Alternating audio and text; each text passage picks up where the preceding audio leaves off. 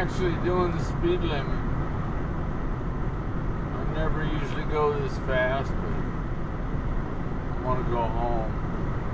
Well, it just said 65, now it says 60 again? Shit, what's that all about?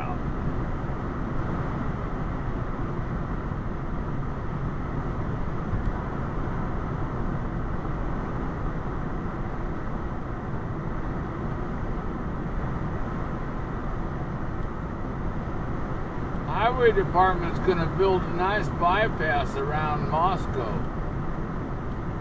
I think that'll take a few years, but if I live long enough to see it, it'll be cool.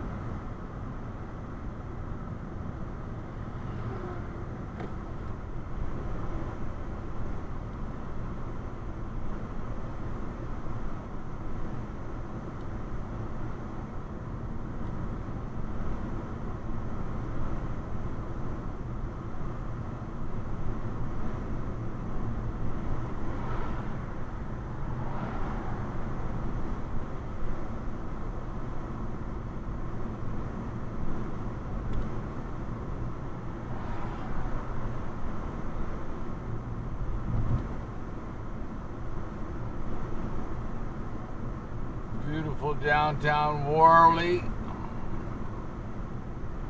We passed beautiful downtown Plummer about eight miles back. Bustling metropolis.